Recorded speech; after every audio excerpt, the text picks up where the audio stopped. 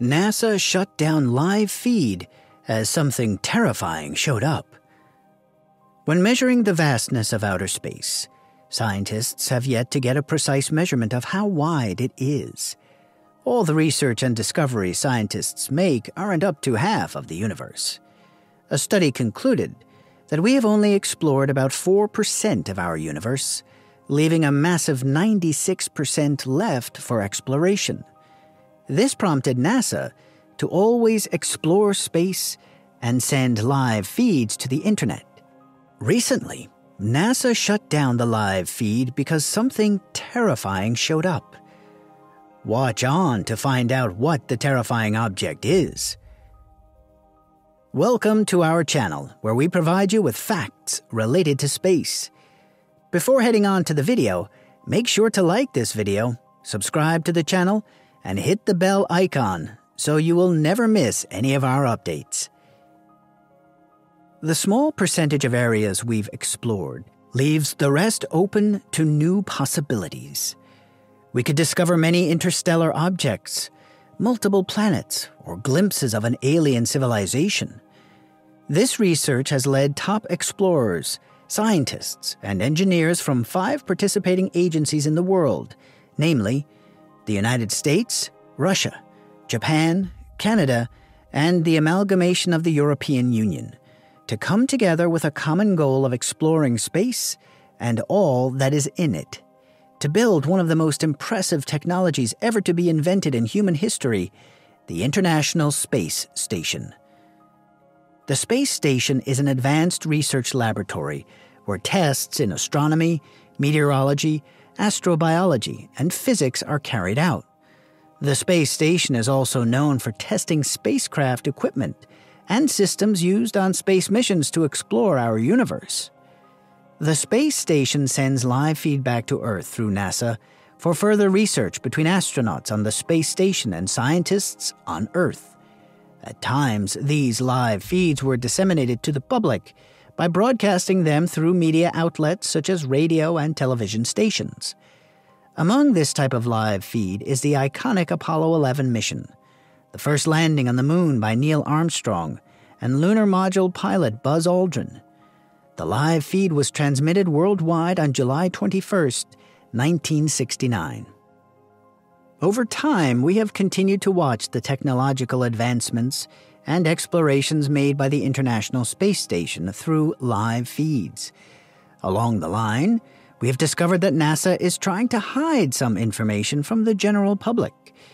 Since the 1940s, we have received strange reports about flying object sightings. The sightings and info about these peculiar objects gradually gained ground and became a worldwide phenomenon until movies were made about it.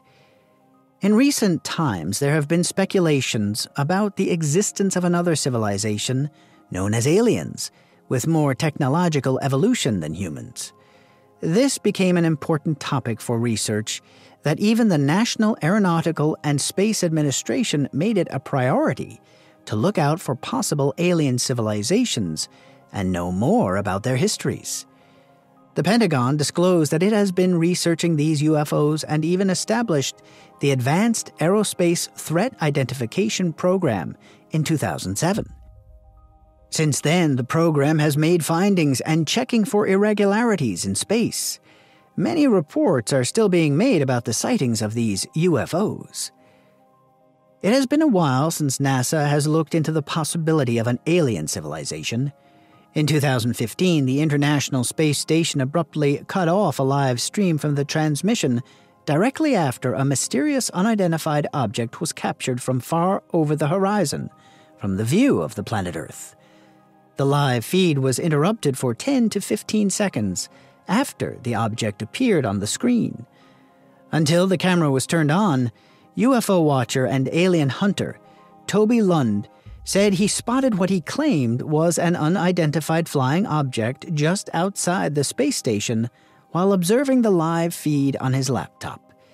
Lund said he took several screenshots of the live feed before it was mysteriously interrupted, and it looks exceptionally like the Starfleet insignia in Star Trek.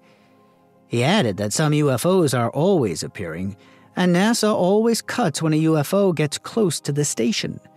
They further removed the recording from archives as part of an effort to conceal alleged communication between UFOs and astronauts.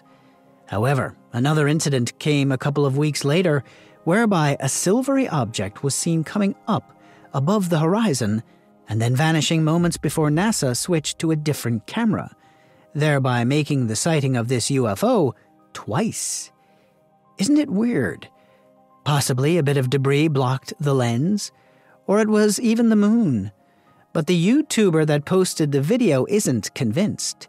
He said we should remember that the moon appears white when it shows. Meanwhile, on October 7th of the same year, UFO observers said they witnessed a weird object near the station during a space walk by astronauts Reid Wiseman and Alexander Gerst. This mysterious object was later identified as either a speck of dust or a lens flare from the sun. However, those reasons are not convincing enough. As more conspiracy theories arise, with alien researchers and ufologists standing their ground that it was proof we aren't alone in the universe. NASA spokesman Daniel Huot told CNET that the live feed was not deliberately cut. Huot said cameras mounted on the International Space Station are controlled automatically. He added that the station regularly passes out of range of the tracking and data relay satellites used to send and receive video, voice, and telemetry from the station. He said the camera would show a blue screen or a preset video slate whenever signals were lost. In 1948, the US government launched different inquiries into space which many believed were sparked by Cold War paranoia. More than 12,000 encounters with UFOs were recorded and observed by the Air Force in what is known as the Project Blue Book. The U.S. Air Force says the Blue Book included 12,618 sighting reports, 701 of which remained unidentified. In an interview with Professor Andrew Balloch from the Imperial College London Department of Physics, he said, Generally speaking, UFO sightings are either explained by some artifact effect, it could even be some space junk, or left explained as there is insufficient evidence. He added that it is difficult to judge from the video in this case because of its poor quality.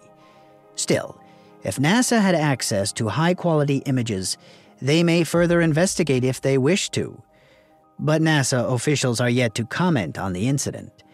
Even the live feed and rover pictures from the International Space Station have become an immense source of evidence for conspiracy theorists. Many scientists believe UFO sightings result from a psychological phenomenon called pareidolia. This describes how the brain responds to seeing significant objects in ransom.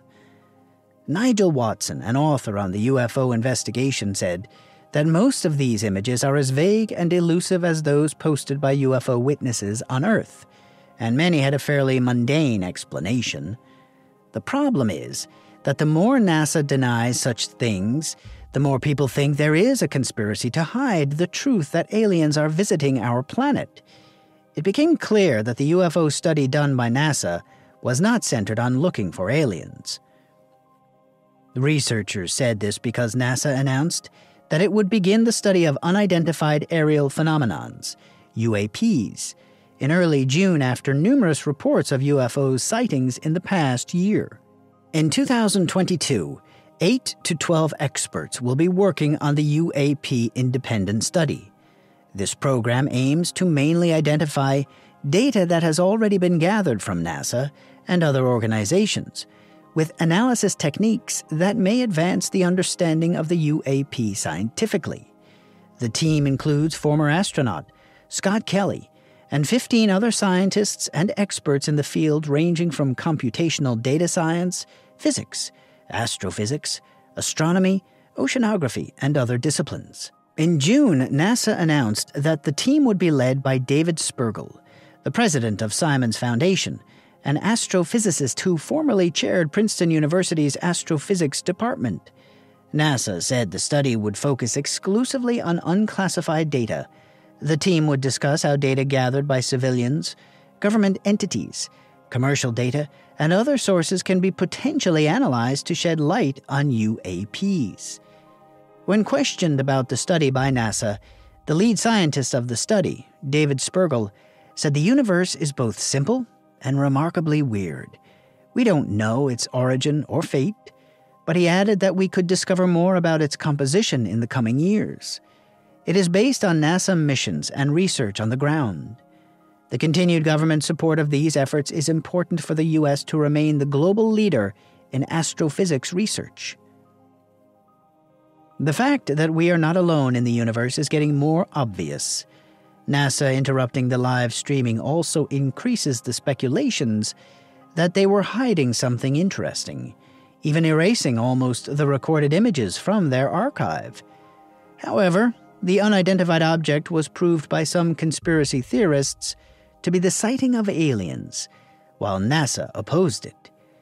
We are sure that the unidentified object remains unidentified, not yet known, which prompts a study group set up by the agency to explore the space further.